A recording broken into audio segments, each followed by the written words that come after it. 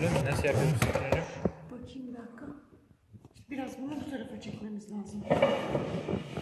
Şu an, şu an canlı yayındayız. Hı hı. Merhaba arkadaşlar. Daha bir kişi geldi. Hocam telefonun sesini kıstık. Yok açtım şu an. Tamam, şu an Medya açtım da ben duyulayım.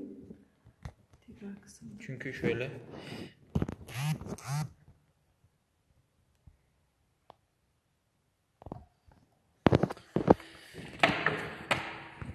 Evet. Şu an görüntün iyi hocam. Gençler görüntüde sıkıntı var mı? Seste sıkıntı var mı? Bir yorum yazın isterseniz. Şu an sabitlendi mi? Sabit hocam. Ben hiçbir şey göremiyorum. Ekranı falan. Bir sıkıntı olsa ben basar giderim. Takipte kalın madem. İyi diyorlar. Tamam. İyi. Her şey iyi ise Siz devam edin. tamam başlayalım. Aynen. Dizim değiyor. Yok dizim değmiyor. Değiyor. Değiyormuş.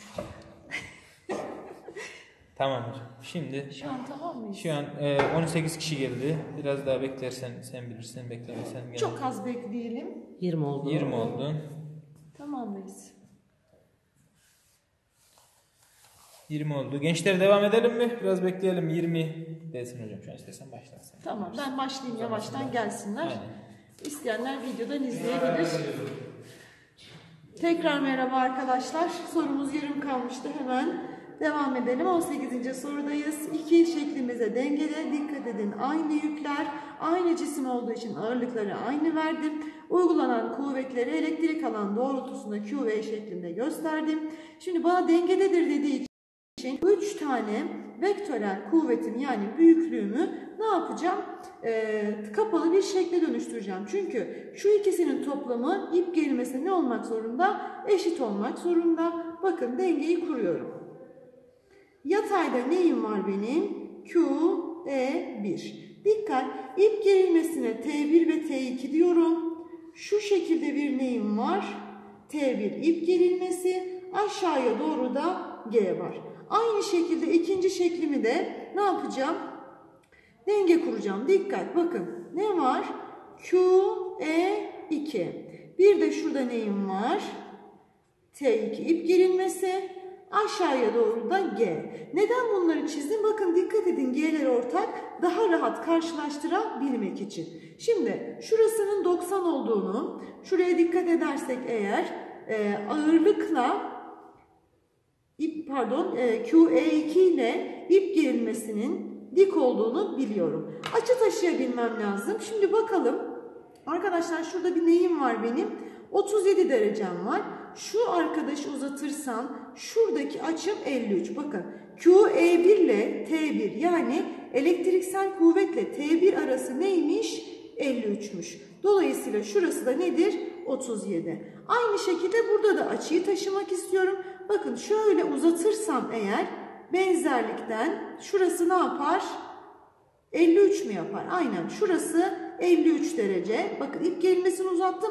Ağırlıkla ip gerilmesi arası kaç dereceymiş? 53. O zaman şurası da 37. Şimdi bakın dikkat edin.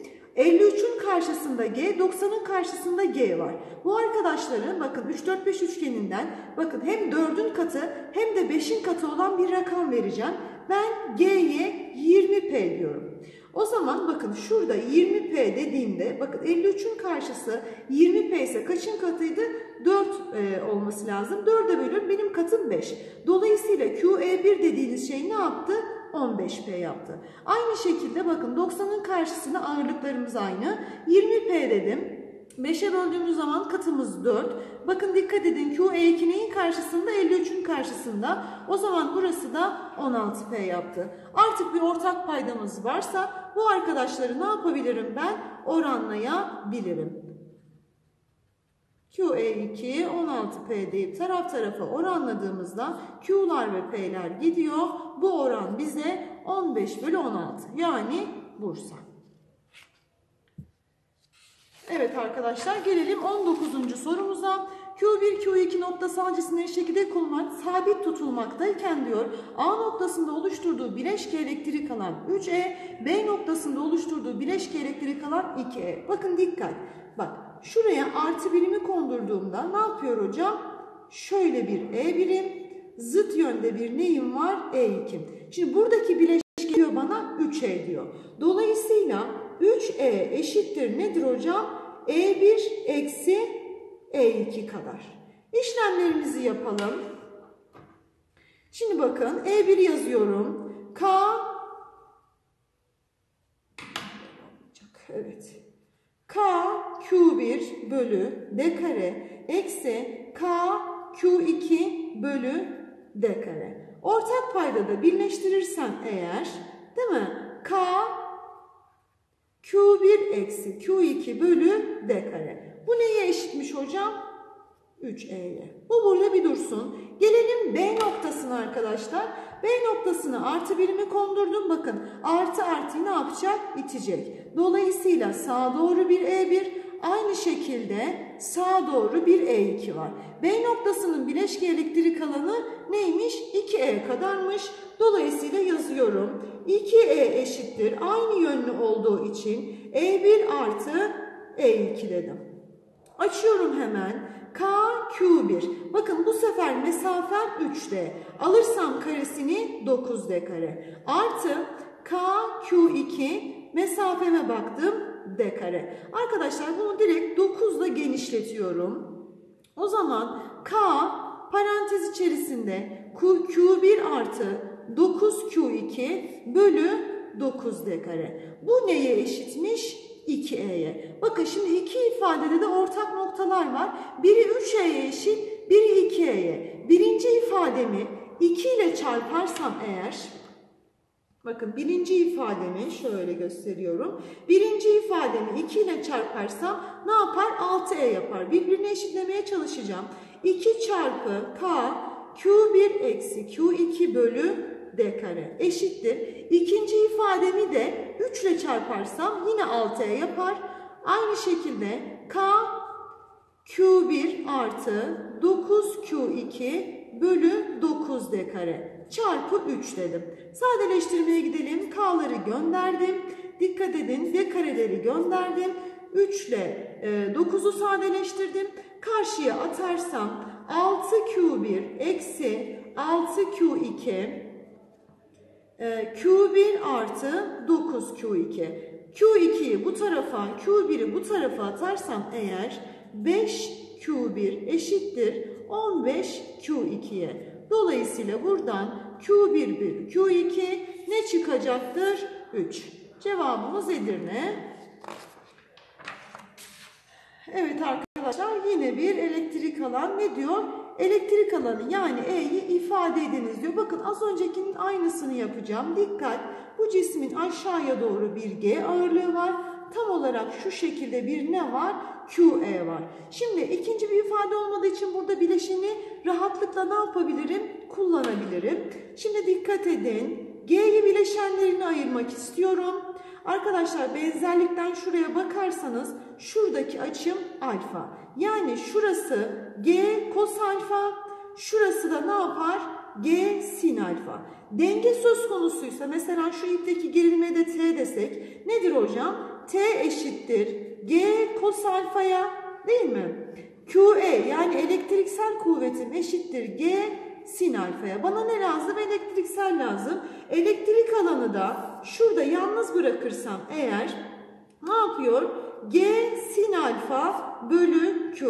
Elektrik alanımın ifadesi G sin alfa bölü Q yaptı. B seçeneği.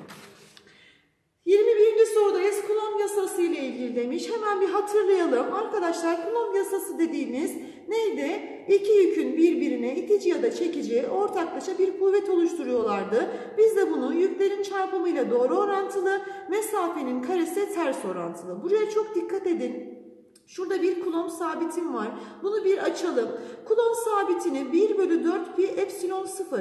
Bakın şu epsilon 0 dediğimiz şey dielektrik sabitidir. Ve boşluğun elektrik aynı zamanda diğer isim elektriksel geçirgenlik.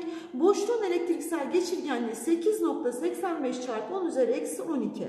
İki tane birimi var dikkat edin. Kulomb kare bölü Newton metrekare ya da Farad bölü metrekare diyebiliriz.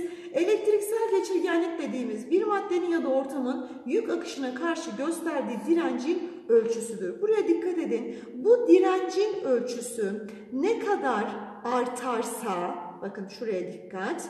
Benim kulon sabiti o kadar azalıyor ve kulon sabiti ile kuvvetim nasıl orantılı? Doğru orantılı.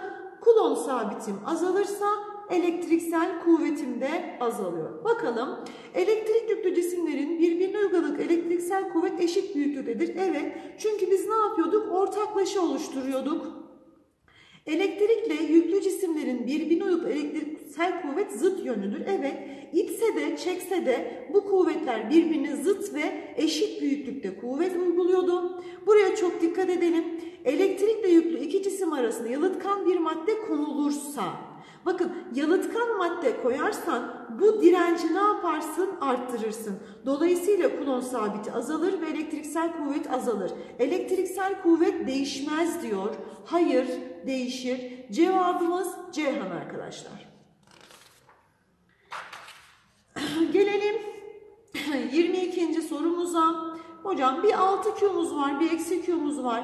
K noktasında oluşturduğunda VK, L noktası oluşturduğunda VL. Arkadaşlar potansiyelin, elektriksel potansiyelin skaler olduğunu unutmayalım. Nasıl buluyorduk? K, Q bölü D yani dik uzaklık artık elimizde ne varsa. Şimdi el, skaler büyüklük olduğu için yükün artısı ya da eksisi ne yapıyordu? Mutlaka formülde belirtilmek zorundaydı. Bakalım şimdi K noktasındaki potansiyeli bulmak istiyorum. VK eşittir dedim 6Q'dan başlıyorum. K 6Q bölü D eksi bakın yüküm eksi çünkü hemen eksiyi başa attım. K Q bölü D. Dolayısıyla K noktasındaki toplam potansiyel K 5Q bölü D kadar. Geldim L noktasına. Şimdi L noktası için yazıyorum. Dikkat. K 6Q bak mesafem 3 katına çıktı. 3D yine eksi K Q bölü D yaptı. Şuradaki sadeleştirmede 2 kalır. Dolayısıyla pardon bir saniye. Görüntü bozulmasın. Pardon arkadaşlar. Şu an daha iyi herhalde. Evet. Evet, dolayısıyla 2Q'dan Q çıkarsa K, Q bölü D kadar. Benden oran istemiş. Taraf tarafı oranlarsam K'lar, Q'lar, D'ler gider. Bu oran 5 olarak karşımıza çıkar. Gelelim 23. sorumuza. Bir x noktası, y noktası var. Bir tane yükümüz var. Demiş ki x noktasına meydana getirdiği artı q'nun x noktasına meydana getirdiği elektrik alan e kadardır. Bunun miktarını bir yazalım. K, Q mesafeme dikkat. 2D'nin karesi yani 4D kare. Bahsettiği E bu kadar arkadaşlar. Buna göre diyor ki y ve x noktaları arasındaki potansiyel farkı veren bağıntı. Önce bu noktaların potansiyelini bulmam lazım. Sonra potansiyel farka geçeceğim. Nasıl buluyordum potansiyeli? V, K, Q bölü dik uzaklıktı. Önce x noktası için yazalım. K, Q bölü 2D. Y noktası için yazalım. K, Q bölü D. Bu ikisinin farkı yani delta V eşittir. Vy eksi Vx diyorum. İkisinin farkını istiyor. Arkadaşlar KQ bölü D eksi KQ bölü 2D. Bu arkadaşı 2 ile genişletirsem delta V'yi ne buldum? KQ bölü 2D kadar. Potansiyel farkını buldum. Yalnız şıklara bir dikkat edin. Elektrik alanla ilgili bir şey istiyor. Birbiri arasında bir bağlantı kurmamı istiyor. Şu ikisi arasında. O zaman ben bu arkadaşları taraf tarafa yazarım. K, Q bölü 4D. Delta V eşittir. K, Q bölü K, Q bölü 2D. Taraf tarafa Bir saniye arkadaşlar. Nasıl şimdi? şu an herhalde görüntü mi? Bir saniye şurada bir kayma var. Şu an görüntü iyi hocam. Tamam. Biraz kağıdı şöyle çekebilirsen Şöyle. daha hoş olur. Evet. İyiyim şu an. Evet, Teşekkür için iyi. ederim. Kolay gelsin. Devam edelim arkadaşlar. Elektrik alan ve potansiyel farkı taraf tarafa yazdım. Bakın ortak noktalarımız var. K'ları, Q'ları ve D'leri gönderdiğimizde dikkat edin. Ne kaldı elimizde? E bölü delta V eşittir 1 bölü 4 değil mi? Ters çevir çarptan 2 bölü 1. Şurada sadece ne kaldı? 2 kaldı. Dolayısıyla bir de şunu karıştırmayalım. Bir de elimizde ne var? D var. Dolayısıyla delta V eşittir ne deriz? E çarpı 2D. Bu seçenekte A'da var. Cevabımız A seçeneği arkadaşlar. Gelelim taramamızın 24. sorusuna. Elektrik yüklü cisimlerden bir sistem oluşmuş. Ne diyor? K noktasına elektrik alan 0. Yalnız dikkat edin yüklerin birini biliyoruz, diğerini bilmiyoruz. Biz tek bildiğimiz nedir? K noktasına elektrik alanımız 0. Şimdi K noktasına artı birimizi kondurduğumuzda bu şu demek. Şu arkadaşa 1, buna 2 desek birinci yükün oluşturduğu elektrik alan sağa doğru E1, ikinci yükün oluşturduğu sola doğru olmak zorunda ki birbirini götürsün. O zaman eşitleyelim.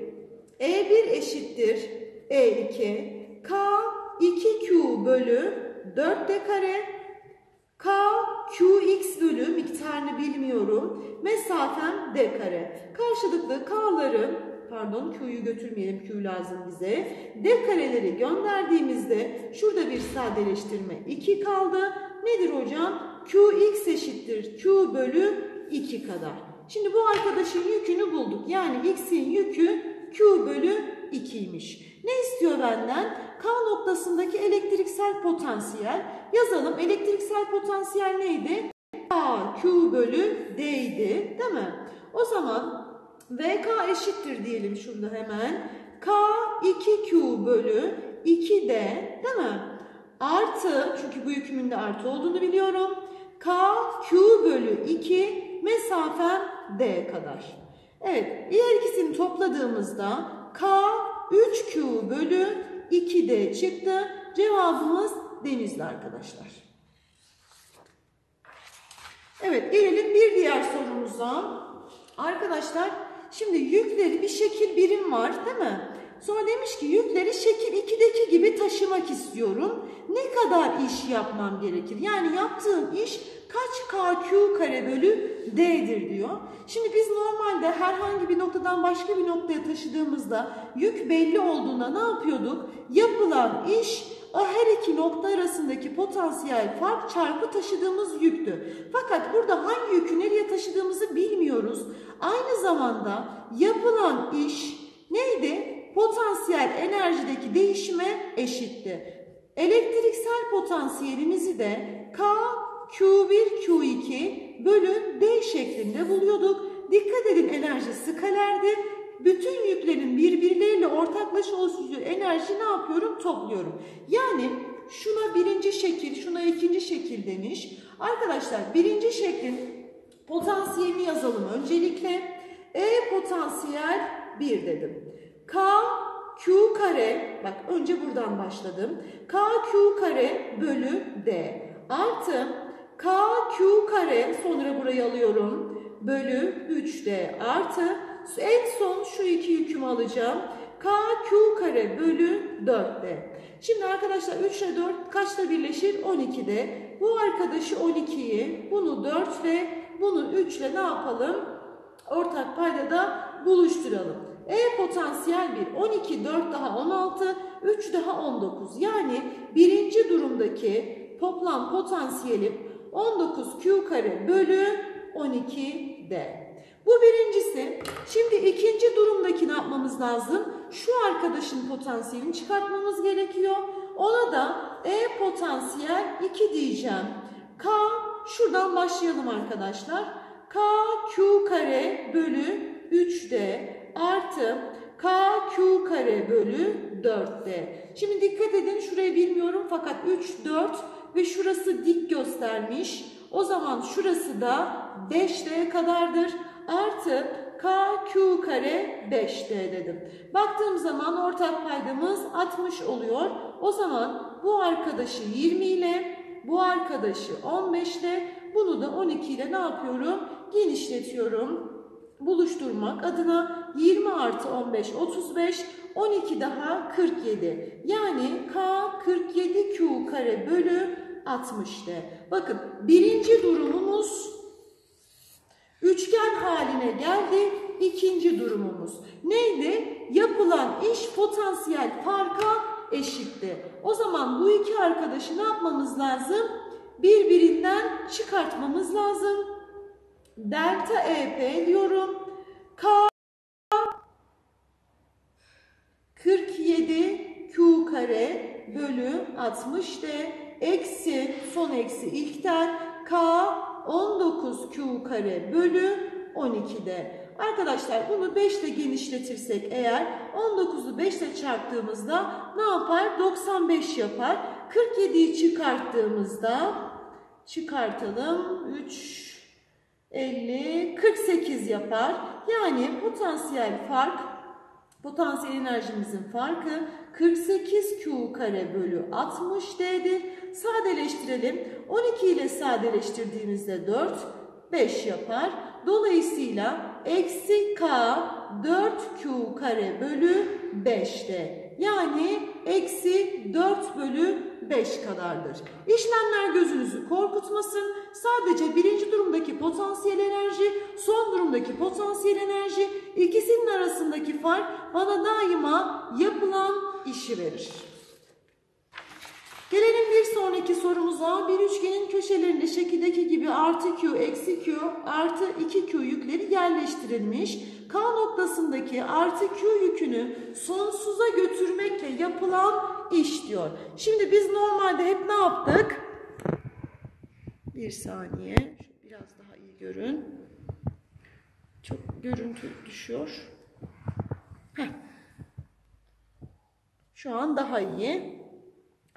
Evet devam edelim. Ne yaptık? Hep sonsuzdan bir noktaya yük getirdik. Şimdi K noktasından sonsuza götürüyoruz. Öncelikle hatırlayalım. Etki edemeyecekleri tek mesafe sonsuzdu. Dolayısıyla sonsuzun potansiyeli daima sıfır arkadaşlar.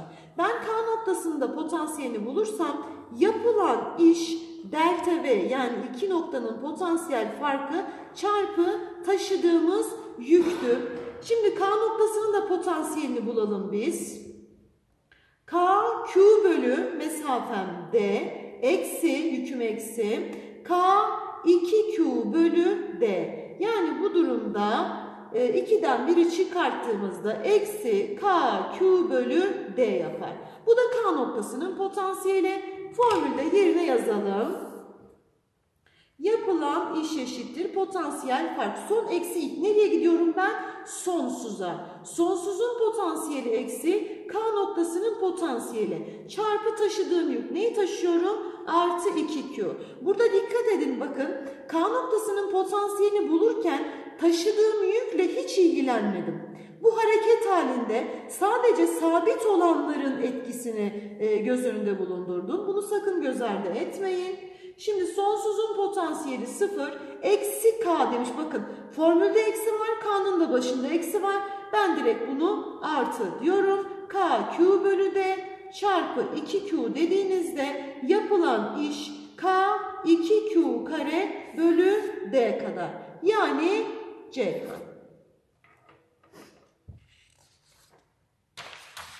Gelelim 27. sorumuza bir yorum sorusudur. Dikkatli olalım. Sürtünmesi yatay düzlem üzerinde artı 2Q, eksi Q var. K ve P noktalarındaymış. Şimdi bu arkadaşları bakın dikkat edin. Aynı K'yı, K noktasındaki yükümü L'ye, P noktasındaki yükümü N'ye getireceğim. Yani mesafede bir azalma söz konusu. Öncelikle bakalım sistemin potansiyel enerjisi. Arkadaşlar sistemin potansiyel enerjisini nasıl buluyorduk biz? K, Q1, Q2 bölü D'ydi. Şimdi bunu sorumuza bir uyarlayalım. Sistemin potansiyel enerjisi. Bakın yüklerin çarpımı eksi. Eksiyi başa koydum çünkü enerji skaler bir büyüklüktü. Çarpımı 2Q kare bölü toplam mesafem 4'te. Aslında yorum sorusunda bu rakamlar çok önemli değil ama mesafenin ne olduğu beni nasıl etkileyeceği önemli. Lütfen burada çok dikkatli olun. Bakın mesafe azalıyor. Bak formüle dikkat ederseniz potansiyel artıyor. Fakat başındaki eksiye dikkat et. Bak sayısal olarak artıyorum. Yani ben sıfırdan uzaklaşıyorum. Dolayısıyla sistemin potansiyel enerjisi artmaz, azalır arkadaşlar. Başında eksi mi var, artı mı var? Lütfen çok dikkatli olun. M noktasındaki elektriksel potansiyel azalır diyor. Yazalım. M noktasındaki potansiyel nedir? Önce bir başlangıçta durumumuz nedir buna bakalım. K 2Q bölü 2D eksi K Q bölü 2D. Birbirinden çıkarttığımızda K Q bölü 2D. Normalde potansiyelim buymuş. Sonuç itibariyle sonucunda artı var. Dikkat edin. Şimdi bu mesafeyi siz yaklaştırdığınızda yani azalttığınızda potansiyelin ne olması lazım? Artması. Azalır diyor arkadaşlar. Bu da gitti. Potansiyel ne yapar? Artar. Şimdi M noktasındaki bileşik elektrik alanın büyüklüğü artar diyor. Şimdi arkadaşlar M noktasına artı birinizi kondurduğunuzda bakın K'daki yüküm itecek. Mesela buna yine biz 1, buna 2 desek oluşturduğu elektrik alan E1 sağa doğru. Bakın eksiye dikkat edin. Bunun oluşturduğu elektrik alan da sağa doğru. Elektrik alan vektörel bir büyüklük olduğu için ne yapıyorum? Topluyorum. Dolayısıyla ikisi de aynı yönlü olduğu için bakın yazalım. Elektrik alanı nasıl buluyorduk? K, Q bölü D kare. Yani mesafenin karesiyle ters orantılıydı. Dolayısıyla sen bu mesafeyi azalttığında elektrik alanı ne olması lazım? Artması lazım. Cevabımız yalnız 3 arkadaşlar.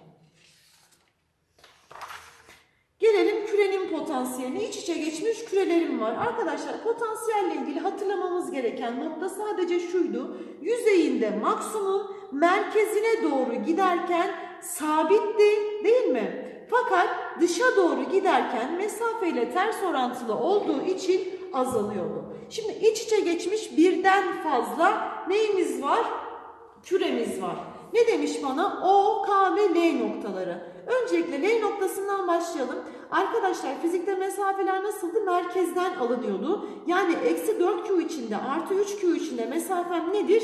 3R'dir. Yani L noktasındaki toplam potansiyele bakmak isterseniz VL eşittir. K 3Q bölü 3R eksi skaler bir büyüklüktü formüle koydum. 4Q bölü 3R. Arkadaşlar birbirinden çıkarttığınızda ne yapar? Eksi K Q bölü 3R yapar. Bu L noktası için. Şimdi gelelim K noktasına. Şimdi K noktasına baktığımızda Şimdi K noktası ikinci kürenin de içinde sabit bir etki yaratacaktır. E, birinci kürenin de tam yüzeyinde aynı etki yaratacaktır. Yani buradan buraya gelirken bu arkadaşın sabit, bu arkadaş da buradan buraya gelirken sabit olacaktır. Dolayısıyla K noktasına baktığımızda oluşan potansiyel birincisi için yazıyorum. K 3Q bölü R eksi K 2Q bölü ne kadar? Pardon 4Q bölü ne kadar? 2R kadar. Şimdi birbirinden bir sadeleştirelim. Şurası 2 yaptı. Ne yapar hocam? K, Q bölü R kadar yapacaktır. Gelelim O noktasına. O noktasına baktığımız zaman bakın şu işlemden farklı bir şey yapmayacağım. Çünkü bak bu ikincisinin bak yüzeyindeki potansiyel O noktasına doğru aynı değişmiyor. İkincisinin de aynı. Yani buradaki etkiyle aynı etkiyi verecektir. Bu da KQ bölü R'dir. Dolayısıyla K ile O birbirine eşit. L noktasından nedir hocam? Büyüktür. Cevabımız Denizli. Evet gelelim 29. sorumuza. Kütleleri M olan KL cisimleri L uzunluğundaki iplerin ucu şekildeki gibi dikkat dengededir diyor. Kütlelerin miktarları arttırılırsa. Arkadaşlar kütle ile açının nasıl bir orantısı vardı?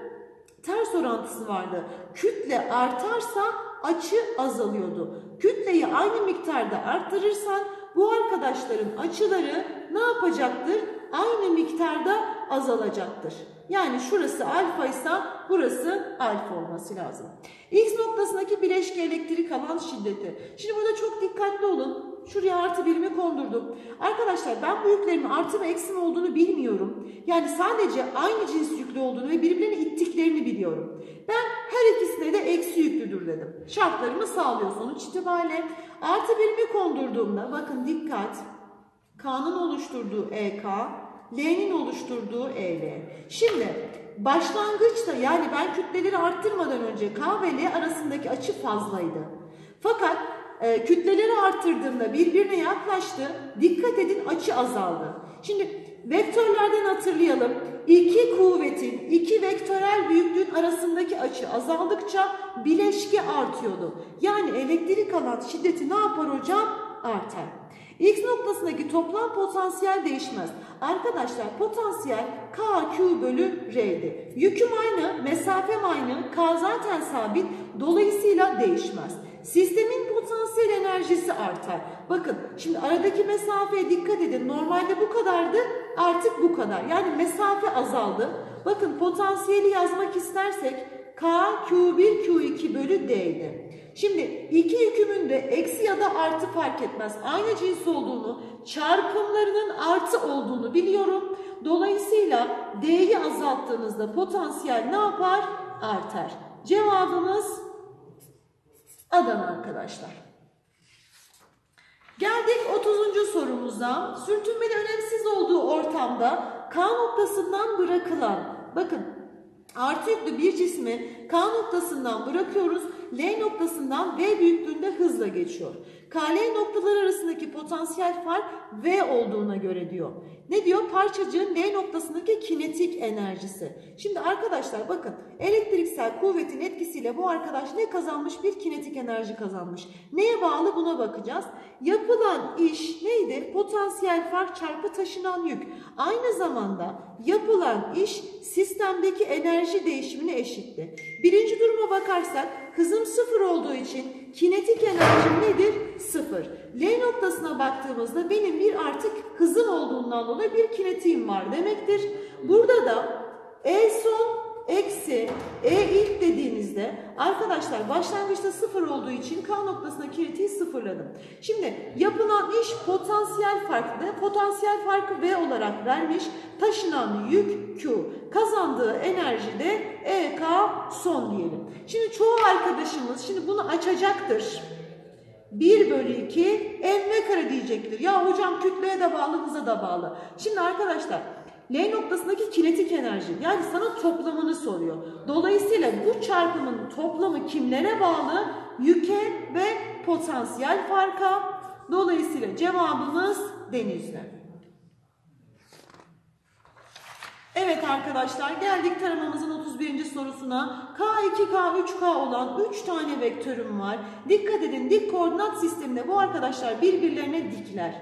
Bu tarz bir soruyla karşılaştığınızda tek yapmanız gereken şu. Bakın ne diyor? Vektörlerin bileşkesinin x, y, eksenleri yaptığı açılar. Arkadaşlar bileşke her iki, iki tane vektörü topladığınızda bileşke daima büyük olana daha yakın olacaktır.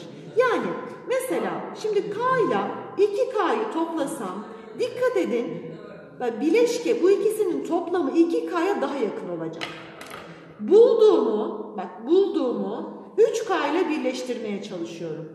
Gördünüz mü? Bu toplam hepsinin toplam bileşkesi. Yani işte K artı 2K artı 3K neyse. Fakat bu ikisi bakın bileşke şurada baktığınızda 2K'ya daha yakın sonra 3K'ya daha yakın. Dolayısıyla kimden uzaklaştım ben? Y'den. Sonra X'ten en son kime yaklaştım? X'e. Dolayısıyla en çok uzaklaştığım Y olacağından en büyük açı Y'nin sonra X'in sonra Z'nin olacaktır. Cevabımız Ceyhan. Gelelim 32. sorumuza. Ağırlıkları PKPL olan KL cisimlerimiz var. Düşey düzlemde F1 F2 kuvvetleriyle şekildeki gibi dengede tutuluyor. Buna göre PKPL oranı kaçtır diyor. Şimdi arkadaşlar size kareli bir düzlem vermiş fakat kuvvetleri miktarını bilmiyorsunuz. O sebepten bu arkadaşları ben bileşenlere ayıracağım. Bakın yatay 2 birim 2F dedim. Düşeyde 1 birim F dedim. Aynı şekilde F1'i de ayırıyorum. Düşeyde 2F bakın sola doğru da F yaptım. Şuraya dikkat bakın şu ipteki gerilme PK yani şurada bir benim neyim var? PK var. Şu ipteki gerilme PL, şurada da bir PL var. Şimdi dengede tutuluyor diyor. O zaman sağa doğru olan kuvvetler sola doğru, yukarı doğru olan kuvvetler aşağı doğru ne olacak? Birbirlerine eşit olmak zorunda. Şimdi düşeyden başlayalım. Yukarı doğru 2F, aşağıya doğru bir F var. Bir de ne var hocam? PL var. Yalnız bırakırsam L'nin ağırlığının F kadar olduğunu görüyorum. Bir de yataya bakalım. Sağa doğru 2F, sola doğru ne var? F artı PK var. Arkadaşlar PK'yı da buradan yalnız bırakırsam K'nın da F olduğunu görüyorum. Oran istemiş benden. Bu iki arkadaş birbirine eşit olduğuna göre bu oran 1'dir. Evet, X cismi ve buz var. Arkadaşlar burada yine bir denge söz konusu. Ne diyor bana? Dengede kaldığına göre T1 ve T2'de ip gerimeleri oluşuyormuş. Buz erirken T1 ve T2 ne olur? Arkadaşlar şimdi bak şöyle aşağıya doğru benim neyim var? Bir G buzum var. Şimdi şu ip aynı ip olduğu için yukarı doğru ne var? T2 var. Yani T2 dediğimiz şey buzun ağırlığına eşit. Sonra şuradaki dengeye bakalım. Aşağıya doğru x'in ağırlığı var. Yukarı doğru ne var? T1 ve T2 var. Yani gx dediğimiz şey T1 artı T2. Şimdi diyor ki bana buz erirken. Arkadaşlar buz eriyince ne olacak?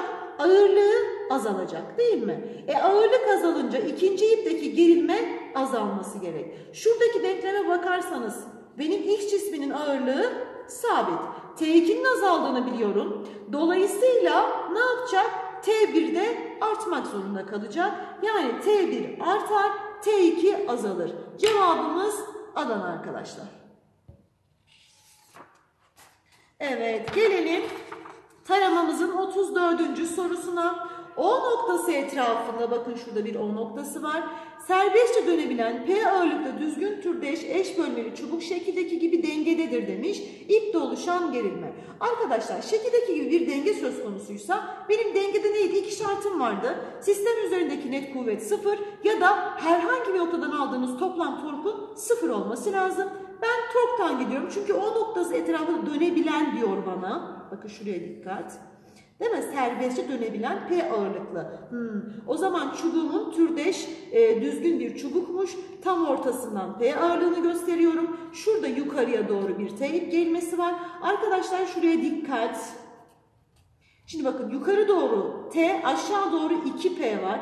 Dolayısıyla ben tork alırken hiç uğraşmak istemiyorum. Aşağıya doğru 2P eksi T diyeceğim. Bütün kuvvetleri gösterdiğime göre artık o noktasına göre tork alabilirim. T çarpı 1 eşittir. P çarpı 2 artı 2P eksi T çarpı 1, 2, 4 birim. Çarpı 4 dedik. T eşittir. 2P artı 8P eksi 4T diyorum. Şimdi şurası eksi. Arkadaşlar şurası 10P yaptı. Bu arkadaşı bu tarafa atarsak 5T eşittir 10P. T buradan ne yaptı? 2 mi? Aynen. Onu 5'e bölersek cevabımız Bursa arkadaşlar. Evet. Hadi arkadaşlar az kaldı. Son e, 35. sorudayız. Eşit bölmeli düzgün ve türdeş çubuğun üzerindeki çocuk denge bozulmadan çubuğun en fazla P noktasına kadar ilerleyebiliyor. Arkadaşlar top denge sorularında en çok şaşırdığınız hareketli e, sistemler. Öncelikle şunu bilmeniz lazım. Bakın P noktasına kadar ilerleyebiliyor diyor. Mesela çocuğu P noktasına getirdiğimizde hani bir adım daha giderse denge bozuluyor. Bu şu demek. Demek ki bütün ağırlık merkezi tam olarak ne yapıyor? Desteğe geliyor. Çünkü bu çubuğun da bir ağırlığı var değil mi? Yani çubuğun ağırlığı mesela düzgün türdeş dediği için bana bakalım 2, 4, 6. Şuradan da çubuğun ağırlığına mesela ne diyelim? P kadar diyelim. Çocuğumuzun ağırlığına da G diyelim. Arkadaşlar en fazla P'ye dayanabiliyorsa bu ikisinin merkezi ne olması lazım? Şu 1, 2 diyelim birinci desteğin üzerinde olması gerekiyor. O zaman toplam torkta sıfır olması gerekiyor ya. Merkeziyle ters orantılıydı. Bakın mesafeyle 3 birimlik mesafedekine ben atıyorum 2G desem 2 birimlik mesafe ne olması lazım? 3G. Yani çubuğun ağırlığı 3G yaptı. Çocuğun ağırlığı 2G yaptı. Şimdi gelelim sorumuza. Çocuk R noktasına doğru yürüdüğünde nereden geçerken çubuğun dengesi bozulur? Şimdi çocuğu aldık bu tarafa doğru yürütüyoruz. Olay şu arkadaşlar. Bakın şu o zaman e, nerede bozulur diyor ya. Bu sefer bütün ağırlık ne yapacak? İkinci desteğe gelmek zorunda. Çocuk ne tarafa gidebilir? Yani çubuğun torkuyla çocuğun torku eşit olacak. Eşitliği geçtiği an denge bozulur. O zaman tork alalım. Nerede olduğunu bilmiyorum. Çocuk şurada bir yere geldi diyelim ki. Şimdi çubuğun torkunu alalım. Çubuğa 3G demiştik. 3G çarpı 1 eşittir. Çocuğun ağırlığı da 2G'ydi arkadaşlar. X kadardır dedim. Kaç birim olduğunu bilmiyorum. G'leri gönderdim. X buradan ne yaptı? 3 bölü 2. Yani 1 buçuk. Nerede kaldım arkadaşım ben? KL arasında. Şimdi KL kesinlikle L ya da K sınır belirlemeyin. Şimdi denge noktası çocuk en fazla buradaymış. Tam ortasında. Yani buradan 1 milim ilerlese denge bozuluyor. Dolayısıyla nerede bozulur? KL arasında bozulur diyeceğiz. Evet bir diğer karıştırdığınız yay soruları lütfen dikkatle dinleyin. Yayda sürekli şaşırıyorsunuz. Şimdi tahta bir cetvelimiz var. Üzerinde ne var? Bilye var. Çekirdek konudayken gerilme kuvveti F'ye desteğin tepki kuvveti neymiş? Bilye ok yönünde hareket ederek cetvelin ucuna gelinceye kadar geçen sürede yay kuvveti ve tepki kuvveti nasıl değişir? Arkadaşlar şimdi önce bir denge kuralım. Yani bilyemizi hareket etmeden önce aşağıya doğru ne var, yukarıya doğru ne var? Arkadaşlar yukarıya doğru F yay var. Artı ne var? Tepki kuvveti var. Eşittir aşağıya doğru G bilye artı G çubuk bir de ne var? T ip var. Şimdi dikkat edin bak bu çok önemli. İp esnemiyor diyor. Yani bakın ip esnemiyorsa çubuk yer değiştirmeyecek demek. Dolayısıyla yay neye bağlıydı? K çarpı X. Şimdi çubuk yer değiştirmiyorsa bu X'te bir değişiklik yok. Yani burası sabit. Dolayısıyla yay da sabit. Şuraya dikkat. Ben ne diyordum her zaman? Denklemdeki sabitleri bul. Bir kere yay kuvveti değişmiyor. A ile B'yi eledim gitti. Dikkat edin ağırlık da değişmez. Yani çubuğun ve bilyenin toplam ağırlığı da sabittir. Buradaki olay şu. Sen bilyeyi bakın sola doğru kaydırdığında bilye ve çubuğun ağırlık da yani ağırlık merkezi sola kayar. Yani sen şuradan atıyorum destekten bir tork almaya kalksan ağırlık merkezi sola doğru kaydığı için sol tarafın torku artacaktır. İpin de bunu ne yapması lazım? Karşılaması lazım. Karşılayabilmek için ipin mesafesi belli. Ne yapacak? İp gerilmesi artacak. Denkleme dikkat edin. Sabitlerim var. İp gerilmesi arttıysa tepki kuvveti de ne yapar hocam? Artar. Yani yay kuvveti değişmez. Tepki kuvveti artar olacak. Evet arkadaşlar tarama sorusu 37. Şimdi ne diyor bana? Kendi içlerine düzgün türdeş eşit bölmeli. Bakın iki tane e, benim e, neyim var? Levham var. Kendi içine türdeş dediği için x'in tam ortasından gx, y'nin tam ortasından gy'yi gösteriyorum. Buraya çok dikkat edin. İplerdeki eşit gerilme. Yani iplerde oluşan gerilme eşitmiş. Şimdi denge dediği için e, toplam kuvvetin F sıfır olması gerekiyor. Aşağıya doğru neyim var benim? Gx ve Gy. Ben bu ipteki gerilmelere TT desem yukarı doğru da 2T.